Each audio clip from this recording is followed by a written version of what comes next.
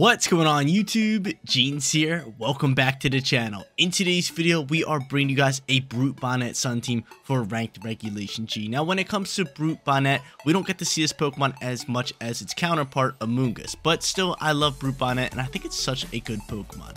This Brute Bonnet over here is a Grass and Dark type Pokemon with the Water Tera type photosynthesis as ability and it is rocking the covert cloak as item so it can't really be faked out or get any secondary additional effects from moves this Pokemon's got Taunt, it's got Sucker Punch, it's got Crunch, and obviously it's got Spore to put Pokemon to sleep. We absolutely love Bonnet. But like I said, this is a Sun team, so our restricted Pokemon is going to be Koraidon. Koraidon's got Orichalcum Pulse with the Clear Amulet as item, Rock and Protect, Flame Charge for stab damage and a speed boost, and then we got Collision Course and Flare Blitz for big time damage. And I always say stab damage on fire moves, but this Pokemon is not a fire type Pokemon. As much as I think it's a fire type Pokemon, it's not. But it does have the fire Tera type, so maybe we can make it into a stab move.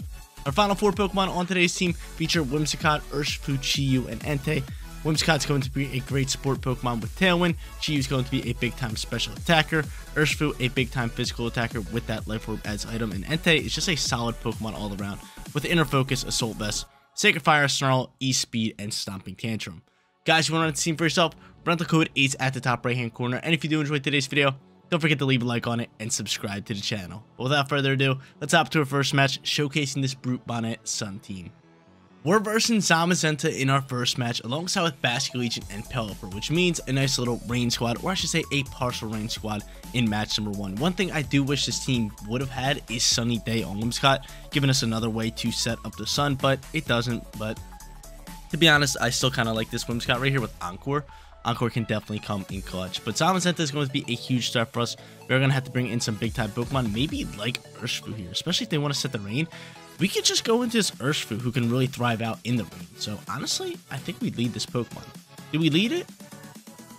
Maybe. We could lead it with Koraidon. Mm, I don't really like that too much. I don't really like that too much. I definitely want Urshifu though, because in case they win the Weather War, we can at least have some value with Urshifu. But if we win the Weather War, our Urshifu will still be fine because we could just go into close combat at that point. But who should we lead here? Kind of curious. We could go Brute Bonnet alongside with Koraidon, or I could go Brute Bonnet alongside with Whimsicott. Maybe Spore turn one and then go into like Koraidon later, which I actually like a bit better. So I'm gonna do that. I'm to do that and bring Urshifu in the back end. And I like Brute Bonnet here, considering Sucker Punch going to be good, or any Dark type moves going to be good up against Basculegion. We can get off some big time damage onto that, especially because I think they they are bringing in Basculegion. I think they have to bring in Pelipper and Basculegion, and then Zamazenta, obviously. And last but not least, I don't know who their final Pokemon would be. Not too sure, but if they do lead Zamazenta, I might just go into a Spore and put that thing to sleep. But they're going to go Incineroar and Rillaboom, which I don't mind. I got Covert Cloak. They can double fake me out if they want to. Um, and I can just Encore them into Fake Out, so that could be pretty good for us. Might honestly just put Incineroar to sleep here. Yeah, I think I'm going to put Incineroar to sleep. And then just go into a Protect into the Whimsicott slot, because there is a chance that they go for the Fake Out Takeout call, with Rillaboom faking out and then Flare Blitzing Incineroar into Whimsicott. So I don't mind this. Or they can just go for double fake out and just look to get off some damage and flinches. I like they have a few different options here. But Brute Bonnet has the Covert Cloak, which is good. I'm just going to protect my Whimsicott. I'm going to say that fake out goes into that slot. And no, they're going to fake out the Brute Bonnet, which we don't which we don't mind because of the Covert Cloak. So he's going to U-turn pivot. Oh, wow. That did some nice, nice damage onto me. That did some nice damage. And we'll see who they want to swap into with the U-turn. So we're going to put Incineroar to sleep, which we love. Incineroar is going to go to sleep. We might want to swap out the Brute Bonnet soon because it is minus one on physical attack. And it is a physical attacker. And we could just Encore this Incineroar into Fake Out, right? Hmm. We're going to go into Zamazenta. So Zamazenta comes through here. What's my play after this? Because this thing, we gotta do something about that. We gotta do something about that. So they don't have Basculegion. They, I would think they would have Pelipper as their final Pokemon. We're gonna get back a little bit of HP, but I think from here we really just want to. Actually, we don't even have the Encore here. we just set up a Tailwind. And can we Tailwind Spore? I really don't want to be that person, but Spore could really come in clutch for us. Spore could really come in clutch for us. I could honestly just taunt you. Which I'm going to do. I'm going to taunt Zamazenta instead of Spore. And I'm just going to go into a Tailwind and set this up. And we'll see a Tera type pop out here early on. Is this going to be Zamazenta terastallizing? Yeah, I was going to say, if they terastallize Incineroar early on here, and good thing I didn't Spore, right? I was thinking about doing it. They got a perfect Tera type for Spores. They go into Grass Tera type. We're just going to taunt it up. We're just going to taunt him instead of Spore. Good call on our end. Great call on end. So hopefully no... What is it even called? No Iron Defense pops out here. Well, we're hoping they go for Iron Defense because we could just block it. Yep, and they do go for Iron Defense. And now's a great time for me to just swap out Brute Bonnet here and save it for later, right? Especially in the sun with Photosynthesis, it's a great time for me to swap it out. And honestly, I might double swap. What double swap?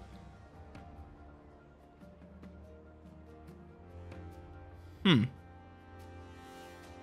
Now, we're just to swap into Koraidon here. And I'm just to start tackling some damage onto this Incineroar. What am I doing? I want to swap into Koraidon. And I want to start chunking up some damage here. Onto you with Moonblast. That's fine by me. Now, could I have encored that thing into Iron Defense while it's taunted? So it has to use Iron Defense and it's just taunted? Is that a thing? I don't think. I think it would fail.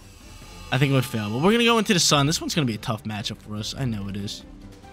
And Moonblast is going to fly because I feel like they got to bring out Pelipper next turn. So Moonblast doing some nice damage. Body Press going to fly out here and oh, chunk up, chunk up some damage into me. All right, so if I had to guess, they're probably going into Pelipper, right? They're most likely going into Pelipper here. And the real question is, what do I do? I think I just have to go into a collision course. I mean, I could finish off Incineroar, which is in my best interest. And that's what I'm going to do. And I'm just going to start throwing Moonblasters into Zamazenta slot. Please don't have Pelipper. They definitely have Pelipper. No doubt in my mind they got Pelipper. So we got Sun out. If they don't have Pelipper, that's good news. But I feel like they have to. There's no way they're giving me the Sun that easily. There is no way. We know they have Rillaboom. They could swap in the Rillaboom if they want to. Another Body Press will me, which I don't like.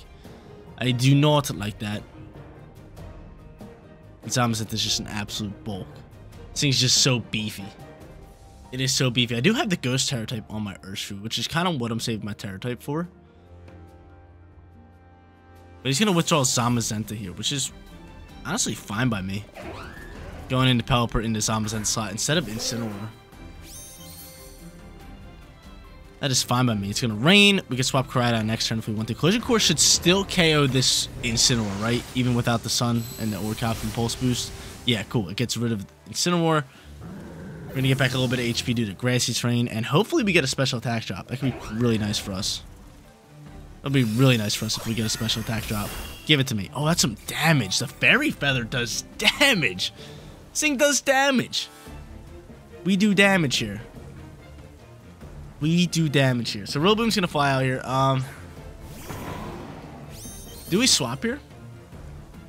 I think we do. I think we we, we pretty much just swap here and we just keep sending Moonblast if we can. I'm kind of hoping Rillaboom fakes out. Because, you know, I'd love to just, uh... I would love to... I don't even know who I swap into here. Do I go Brute Bonnet and sacrifice Brute Bonnet? Most likely, right? Most likely we just want to sacrifice Brute Bonnet. I could go an Urshifu, which wouldn't, wouldn't be bad. They could go fake out Tailwind this turn.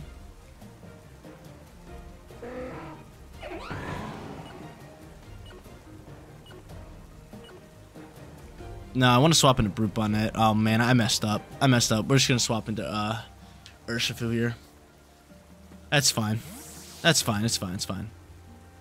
We're fine, we're fine, we're fine. Because if, if you don't fake out the uh, Whimsicott, then we just take out the... Uh... Yeah, that works fine. We just take out the Pelipper here. Pelipper's gone. So now I can fully get out Sun for the rest of the match. Oh, we like this. We like this a lot. We like this. So we're damaging up. They only have Rillaboom left. Who I can Encore into Fake Out now. They still don't know we have Encore. And honestly, I could just keep the Rain. The Rain might help me. The Rain might help me. I do want to Terastallize our Urshifu here. I definitely want to Terastallize Urshifu. We're going to Encore the, uh... We're to Encore the Rillaboom. And do I just go close combat? What's my play here?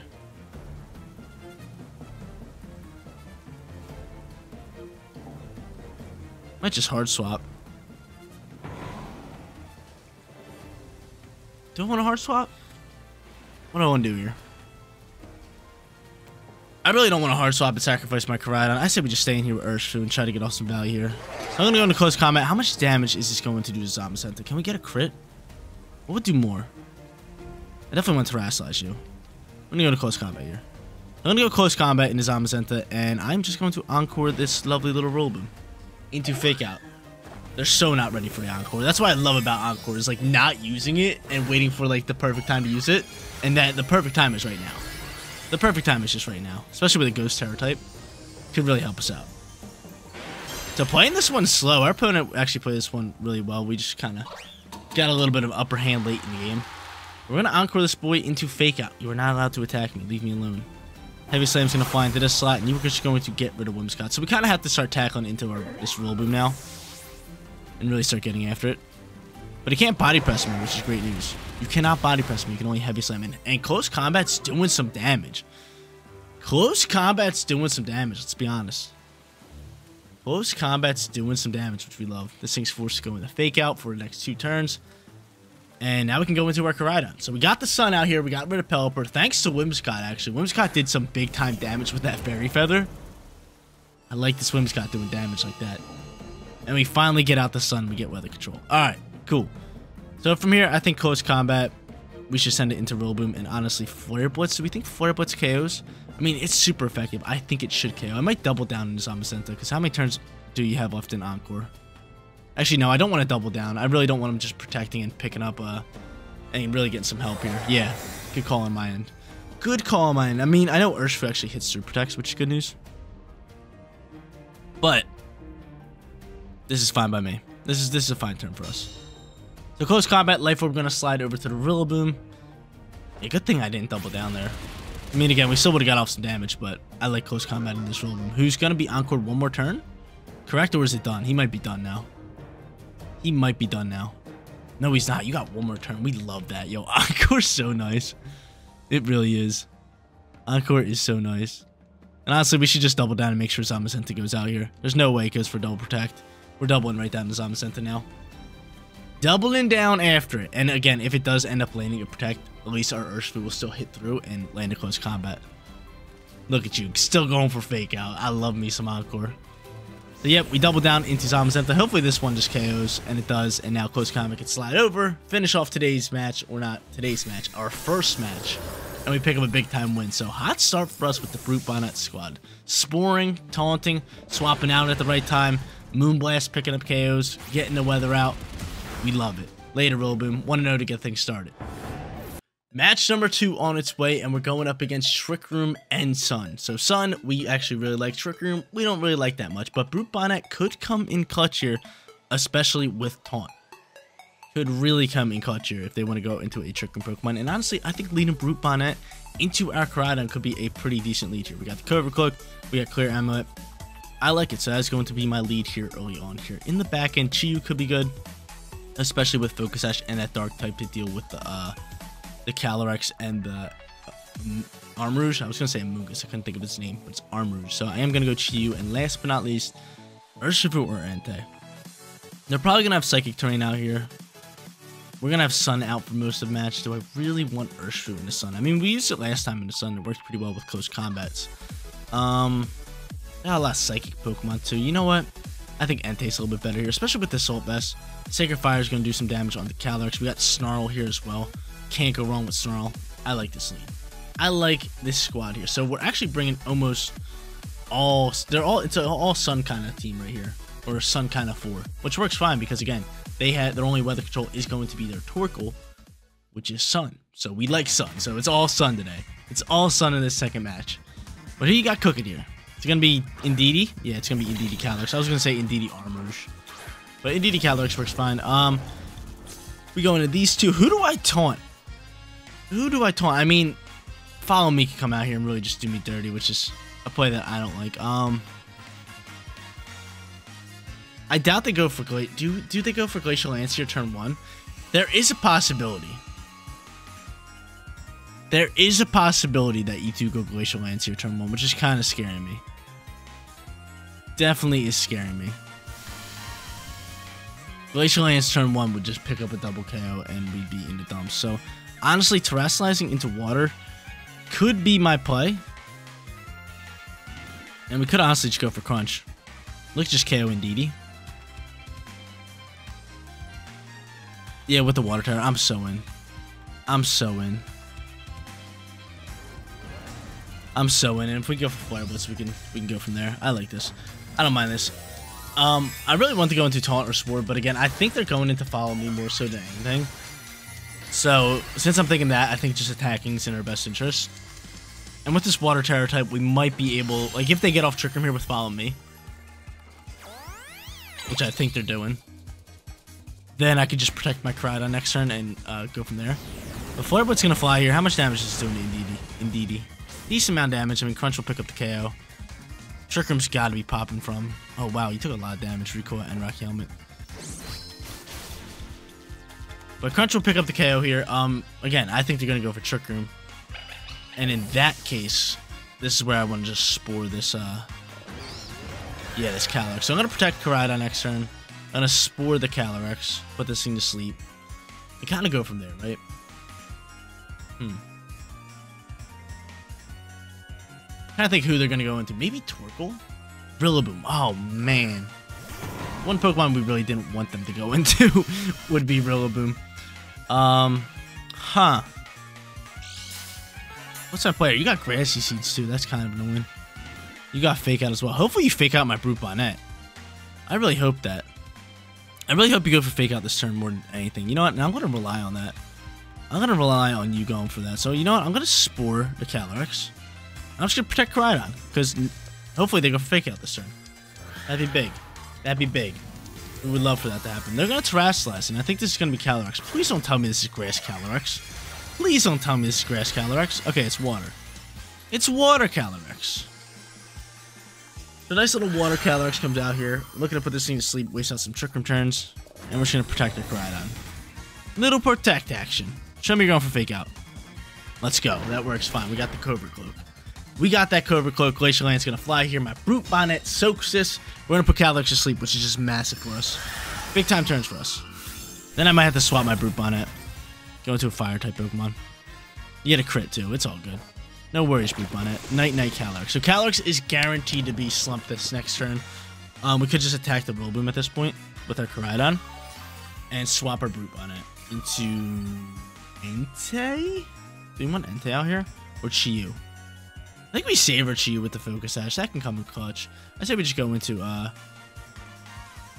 I say we just go into Entei here. So we're going to go Entei. We are just going to go for a Flare Blitz here. Look to KO the Rillaboom. And get effort that way. So, so far, playing really good with this Brute Bonnet squad. Making good plays, making smart calls here. The Covert Cloak has honestly been so clutch for us. Calyrex going to be slumped. Rillaboom, what are you going for? That's my question. I'm going to go for Woodhammer this It's a great call for us on the swap. Still doing a ridiculous amount of damage. Still doing an insane amount of damage. But we pick up the KO on the Rillaboom, which is massive. Bye-bye, Rillaboom. Get it on at my face. Imagine if Koraidon was a fire-type Pokemon. This thing would be even stronger, because it would get that stab boost with its fire moves. Like, it still does a ridiculous amount of damage, but kind of makes sense to not give it a fire typing, right? It would be so OP. Same thing with, like, Groudon. Like, if Groudon was ground and fire, I feel like it would just be so much stronger.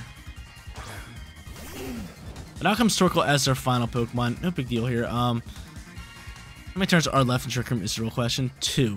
So I think Calyrex going to be asleep at least for this one more turn. I think we just start snarling here just to kind of negate some of the damage here on Torkoal. And we go into a collision course, or do we attack Torkoal here? I could protect. I mean, I should protect. We really don't want Torkoal just KOing here. We really don't want Torkoal just KOing. So yeah, you know what? We're going to play this one smart. We're going to go for a Snarl here. And we're just going to go for a Protect on you. I might even go for a double Protect on Koraidon. We just got to waste out some turns. We just have to waste out some turns here. Yep, there's Eruption. Good call on my end. My Entei should soak this. Best it? Yeah, okay, I was going to say, it should soak this. So, yeah, if I didn't protect my Koraidon there, we'd die out. We die out. So, it was honestly a smart call for us. I'm able to go for a Snarl now. Lower Torkoal's special attack. And I think I should just go for an E-Speed here. Just to deal some damage before we die out here. Just to deal some damage. And do I go for double protect on Torkoal? Unless... Entei, do you have protect? No. You're vested. Alright, yeah. So, E-Speed definitely in our best interest. Who should we really be attacking here? I mean, Torkoal minus one. I think we just go after Calyrex. We're gonna go after Calyrex, and I'm gonna go for double protect because you most likely die out here. Unless, can you soak? You might be able to soak in eruption. You know, we're gonna go for a collision course. We're gonna go for a collision course in Torkoal just in case Calyrex is still asleep. That'd be nice. So E-Speed doing like negative 5 damage. Eruption gonna fly here. Koraidon, can you soak this? You do. Show me Calyrex is slumped. No, it's gonna wake up, go for Glacial Lance, double KO. That hurts a little bit. Alright. That hurts just a tad bit. But Trick Room is over. Trick Room is over. This is just a close match. A bit too close. So Torkoal minus one. Not really worried about Torkoal too much because Sun should end, right? I believe Sun is over. So Calyrex is the main threat. Being plus two. The Sunlight's gone. I'm not really worried about Torkoal doing doing big time damage. Calyrex is the main threat. Trick Room gone, Sun's gone. We can go into Brute Bonnet. And we can go into... Honestly, I should just Spore the Calyrex. Hate to be that guy, but I should just Spore the Calyrex. Let's be honest here. Let's be honest here. I don't think I'm Spore spamming, but we gotta put this Calyrex to sleep.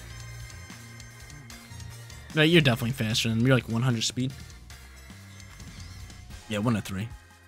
That's fine by me. Yeah, we, you're so getting support. We're gonna support you, and we're just gonna go right into Dark Pulses. Just start attacking the Calyrex. Nice damage. Spore, Night Night. Gotta do it. Gotta do what we gotta do. And you could have Earth Power here. Now, Earth Power is looking a little scary. Onto Torkoal. But again, Calyrex is a main threat. And you're gonna just erupt again, which is fine. I mean, no sun, you're minus one. We soak rather well. We soak rather well.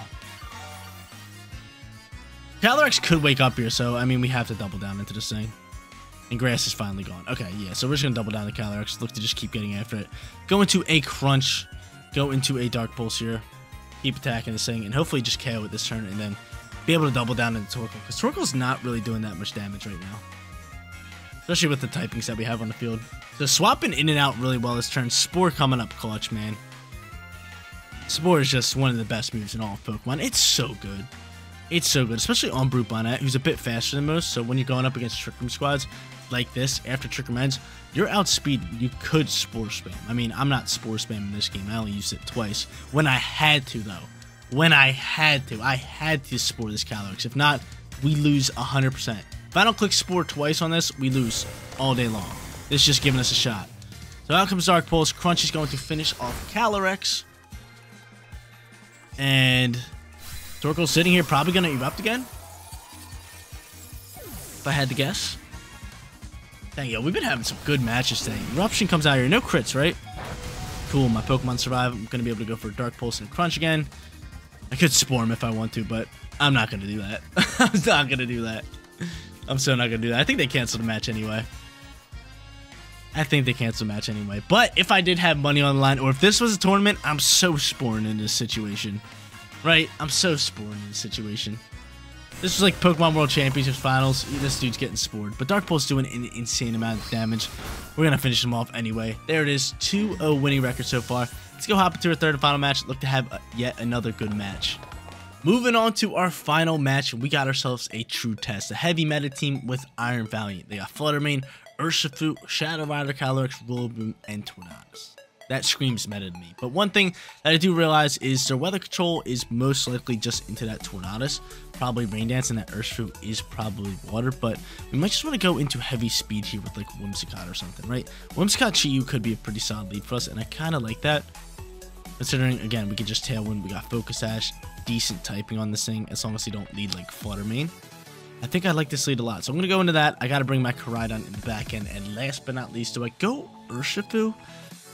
I kind of want to, but at the same time, if they bring Rillaboom, that's a little bit of a problem. So maybe we just want to go into Brute Bonnet.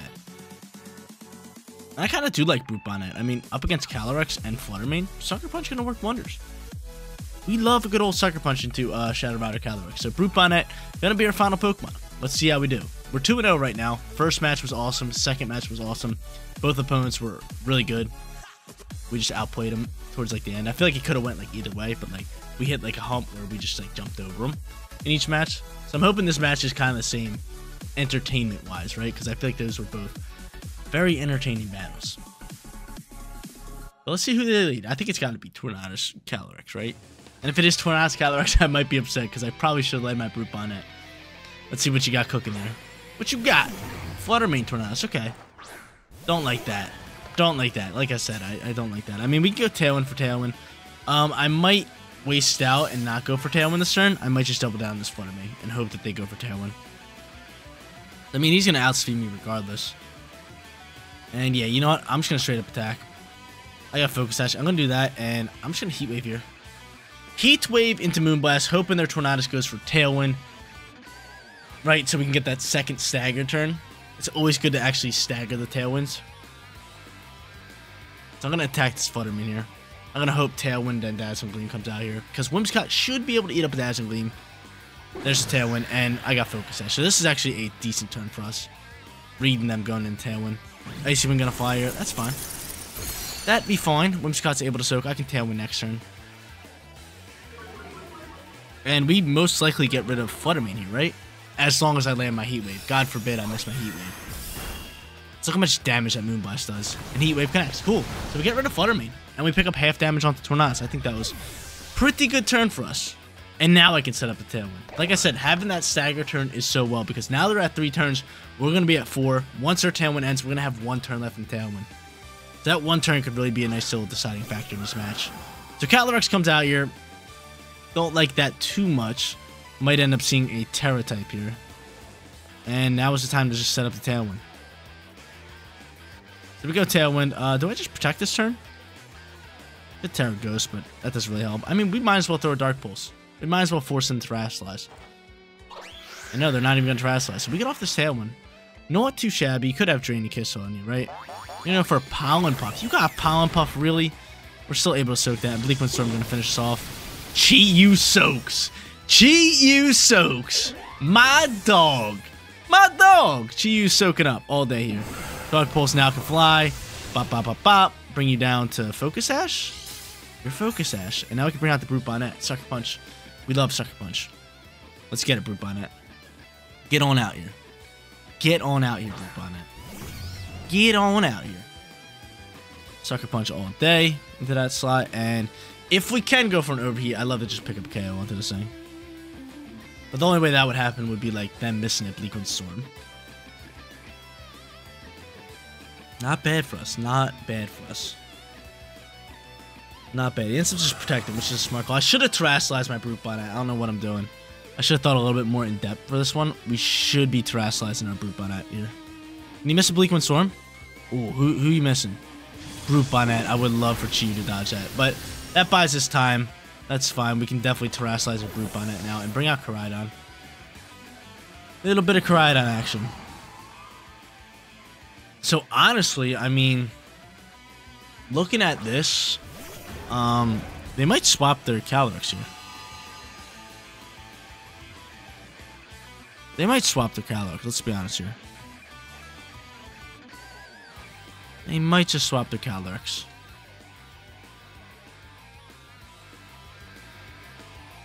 I feel like they have to swap their Calyrex here. I think we just go crunch in this slot. I think they swap Calyrex. I got Terastallize though first. I'm gonna Terastallize. I'm gonna go after you, and I'm gonna go for a Flame Charge and look to KO you. I think they swap Calyrex here. They don't swap Calyrex. This could be tough. We should just Sucker Punch again. We should just Sucker Punch again. This still might work out fine. Unless you're going for another Protect. That could be your play. You could be going for another Protect. Rain Dance pops out here. Okay. What are you going for, Calyrex? The Photosynthesis wears off. Why didn't I just go for Sucker Punch? Oh, it goes for Disable. I mean, Sucker Punch... Oh, no, dude. That's actually crazy that you have Disable. Good thing we did switch. This actually works fine. This works fine. We get a speed boost here. And Crunch's to pick up the KO. So they're probably so upset. I was reading the swap rather than Disable. This thing's got a weird moveset.